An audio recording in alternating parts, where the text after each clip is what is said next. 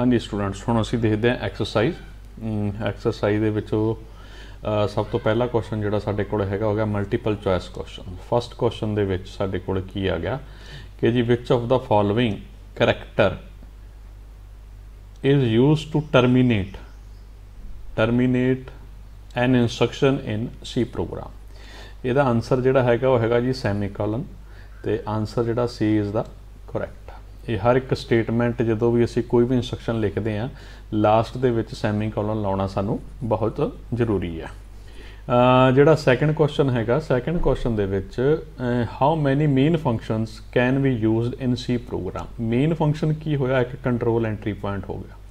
ਤੇ control entry point ਇੱਕ ਤੋਂ ਵੱਧ ਨਹੀਂ ਹੋ ਸਕਦੇ, ਇਸ ਕਰਕੇ answer is C question number 3 which of the following is used to enclose the body of the function body of the function ਆਪਾਂ ਕਿਦਾਂ ਡਿਫਾਈਨ ਕਰਦੇ ਹਾਂ ਕਰਲੀ ਬ੍ਰੇਸਿਸ ਦੇ ਵਿਚਕਾਰ ਇੱਥੇ ਜੋ ਵੀ ਅਸੀਂ ਇਨਸਟਰਕਸ਼ਨ ਲਿਖਦੇ ਹਾਂ ਉਹ ਸਾਡੇ ਕੋਲ ਬਾਡੀ ਹੋਗੀ ਫੰਕਸ਼ਨ ਦੀ so correct answer is B for building block of the C language we require uh ਇਸ ਕੁਐਸਚਨ ਦੇ ਵਿੱਚ ਸਾਨੂੰ ਕਰੈਕਟਰ ਵੀ ਚਾਹੀਦਾ ਜੀ ਡਾਟਾ ਟਾਈਪ ਵੀ ਚਾਹੀਦੀ ਹੈ ਵੇਰੀਏਬਲ ਨੇਮ ਵੀ ਚਾਹੀਦੇ ਨੇ ਐਕਸਪ੍ਰੈਸ਼ਨ ਐਂਡ ਸਟੇਟਮੈਂਟਸ ਵੀ ਚਾਹੀਦੇ ਨੇ so the correct answer is E all of these ਹਾਂ ਜਿਹੜਾ ਨੈਕਸਟ ਕੁਐਸਚਨ ਹੈਗਾ ਉਹ ਹੈਗਾ ਸਾਡੇ ਕੋਲੇ question number 5th which is not a keyword in C ਤੇ ਇਹਨਾਂ ਵਿੱਚੋਂ ਕਿਹੜਾ ਕੀਵਰਡ ਨਹੀਂ ਹੈਗਾ ਇਹਦੇ ਲਈ ਆਪਾਂ ਥੋੜਾ ਜਿਹਾ ਇੰਟਰਨੈਟ ਦੇ ਉੱਤੇ ਸਰਚ ਕਰਦੇ ਹਾਂ ਕਿ ਇੱਥੇ ਸਾਡੇ ਕੋਲੇ ਸੀ ਪ੍ਰੋਗਰਾਮਿੰਗ ਲੈਂਗੁਏਜ ਦੇ ਵਿੱਚ ਟੋਟਲ 32 ਜਿਹੜੇ ਹੈਗੇ ਨੇ ਉਹ ਕੀਵਰਡਸ ਤੇ ਜਿਹੜੇ 32 ਕੀਵਰਡਸ ਨੇ, ਉਹਨਾਂ ਦੀ ਸਾਡੇ ਕੋਲੇ ਕੰਪਲੀਟ ਲਿਸਟ ਇਹਦੇ ਵਿੱਚੋਂ ਸਭ ਤੋਂ ਪਹਿਲਾਂ ਸਾਡੇ ਕੋਲ ਹੈਗਾ ਕਨਸਟੈਂਟ ਕਨਸਟੈਂਟ ਕਿੱਥੇ ਪਿਆ ਕਨਸਟੈਂਟ ਕਨਸਟੈਂਟ ਆ ਪਿਆ keyword this is called a constant ਯਾਨੀ ਕਿ ਇਹ ਇੱਕ ਕੀਵਰਡ ਹੈਗਾ। ਦੈਨ ਅਸੀਂ ਮੇਨ ਦੇ ਉੱਤੇ ਜਾਂਦੇ ਆ ਮੇਨ ਸਾਡੇ ਕੋਲ ਕੀਵਰਡ ਨਹੀਂ ਹੈਗਾ। ਥਰਡ ਆ ਗਿਆ ਸਾਡੇ ਕੋਲੇ ਸਾਈਜ਼ ਆਫ ਸਾਈਜ਼ ਆਫ ਸਾਡੇ ਕੋਲੇ ਪਿਆ ਦੈਨ ਆ ਗਿਆ ਜੀ wired wired is also a keyword so the correct answer of this is main the correct answer of this is main ਇਹ ਯਾਦ ਰੱਖਿਓ ਜੀ ਇੱਥੇ ਜਿਹੜਾ ਸਹੀ ਆਨਸਰ ਹੈਗਾ ਉਹ ਹੈਗਾ ਮੇਨ ਹਾਂਜੀ ਸਟੂਡੈਂਟਸ, ਹੁਣ ਅਸੀਂ ਜਿਹੜਾ ਕੁਐਸਚਨ ਹੈਗਾ, ਉਹ ਦੇਖਦੇ ਹਾਂ ਜੀ 6th 6th ਕੁਐਸਚਨ ਦੇ ਵਿੱਚ ਸਾਡੇ ਕੋਲੇ ਕੀ ਚੀਜ਼ ਹੈਗੀ ਹੈ ਕਿ which of the option is best possible in case of C languages? ਇਹਨਾਂ ਵਿੱਚੋਂ ਕਿਹੜੀ ਹੈਗੀ ਆ? ਹਾਈ ਐਫੀਸ਼ੀਐਂਟ ਬਿਲਕੁਲ ਠੀਕ ਹੈ ਸੀ ਇੱਕ ਹਾਈ ਐਫੀਸ਼ੀਐਂਟ ਲੈਂਗੁਏਜ ਆ।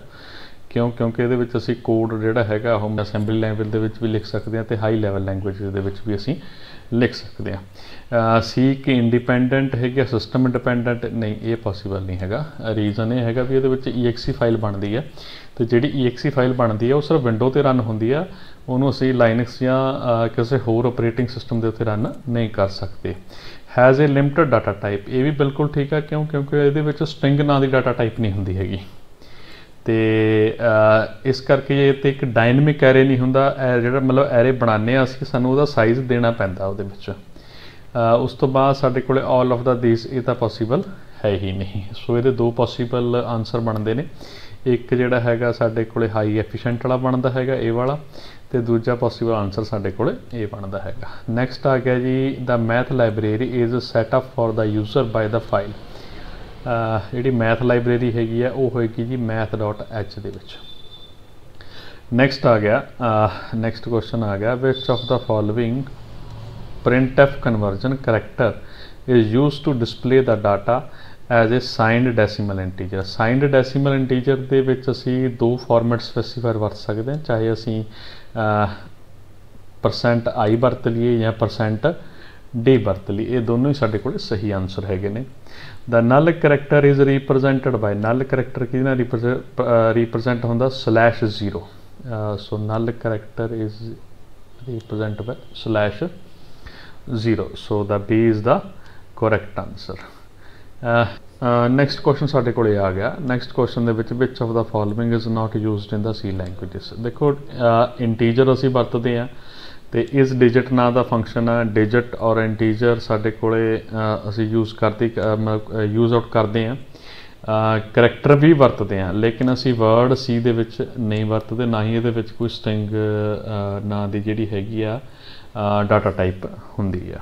ਸੋ ਇਹ ਸੀਗਾ ਜੀ ਐਮਸੀਕਿਊ ਨੈਕਸਟ ਸਾਡੇ ਕੋਲ ਜਿਹੜਾ ਹੈ ਕੁਐਸਚਨ ਨੰਬਰ 3 ਕੁਐਸਚਨ ਨੰਬਰ 3 ਦੇ ਵਿੱਚ ਤੁਹਾਡੇ ਕੋਲ ਆ ਗਿਆ true or false C is a case sensitive language ਬਿਲਕੁਲ ਠੀਕ ਹੈ ਜੀ। ਇਹ ਹੈਗਾ ਟਰੂ ਟਰੂ ਕਰੈਕਟ ਸਪੋਜ਼ ਕਰੋ ਤੁਸੀਂ ਕੋਈ ਵੇਰੀਏਬਲ ਡਿਕਲੇਅਰ ਕਰ ਰਹੇ ਹੋ। ਜੇ ਤੁਸੀਂ ਕੋਈ ਚੀਜ਼ ਵੱਡੇ ਅੱਖਰਾਂ 'ਚ ਲਿਖੀ ਆ ਤਾਂ ਇੱਕ ਅਲੱਗ ਵੇਰੀਏਬਲ ਮੰਨਿਆ ਜਾਊਗਾ। ਜੇ ਛੋਟੇ ਅੱਖਰਾਂ 'ਚ ਲਿਖੀ ਆ, ਤਾਂ ਉਹ ਅਲੱਗ ਇੱਕ ਵੇਰੀਏਬਲ ਮੰਨਿਆ ਜਾਊਗਾ।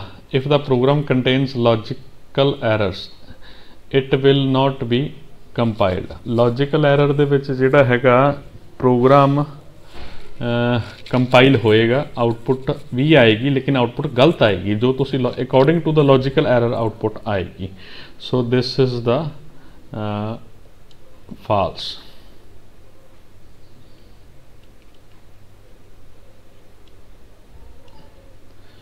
ਸੋ ਇਹ ਸਹੀ ਨਹੀਂ ਹੈ ਜੀ blank space is called a white space character ਬਿਲਕੁਲ ਠੀਕ ਹੈ true.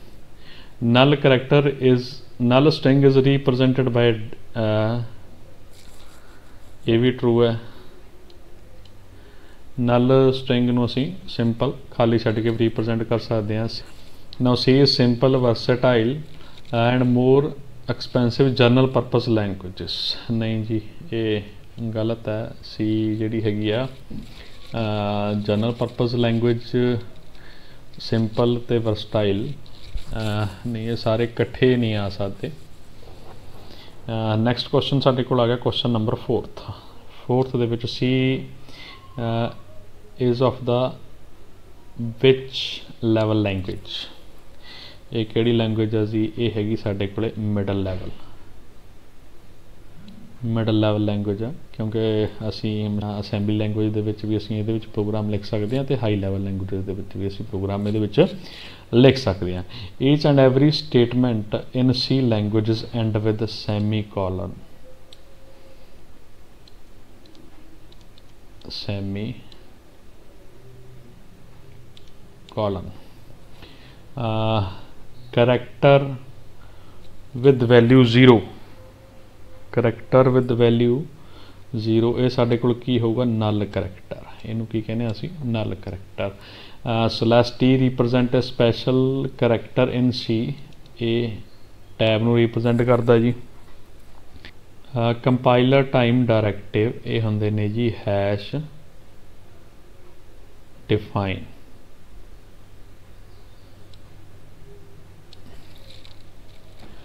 ਸੋ ਇਹ ਸੀਗੇ ਕੁਐਸਚਨ ਆਨਸਰ ਤੇ ਬਾਕੀ ਸੋ ਇਹ ਸੀਗੇ ਜੀ ਆਪਣੇ ਕੋਲ MCQ true false and one word ਇਸ ਤੋਂ ਇਲਾਵਾ ਜਿਹੜੇ ਇਹ ਕੁਐਸਚਨ ਹੈਗੇ ਨੇ ਇਹਨਾਂ ਦੇ ਮੈਂ ਜਿਹੜੀ ਪੀਡੀਐਫ ਹੈਗੀ ਆ, ਉਹ ਇਹਦੀ ਡਿਸਕ੍ਰਿਪਸ਼ਨ ਬਾਕਸ ਦੇ ਵਿੱਚ ਮੈਂ ਲਿੰਕ ਪ੍ਰੋਵਾਈਡ ਕਰ ਦੂੰਗਾ ਤੇ ਤੁਸੀਂ ਉੱਥੋਂ ਵੀ ਇਹਨੂੰ ਡਾਊਨਲੋਡ ਕਰ ਸਕਦੇ ਹੋ। ਇੱਕ ਹੋਰ ਗੱਲ ਹੈਗੀ ਜਿਹੜੀ ਮੇਨ ਇੰਪੋਰਟੈਂਟ ਜਿਹੜੇ ਮੈਂ ਕੁਐਸਚਨ ਕੀਤੇ ਨੇ, ਇਹਨਾਂ ਦੇ ਜਿਹੜੇ ਆਨਸਰ ਹੈਗੇ ਨੇ, ਉਹ ਇਹ ਵੀ ਇੱਥੇ ਸਾਨੂੰ ਦਿੱਤੇ ਹੋਏ ਨੇ। ਇੱਥੋਂ ਵੀ ਤੁਸੀਂ ਇਹਨੂੰ ਲਿਖ ਸਕਦੇ ਹੋ।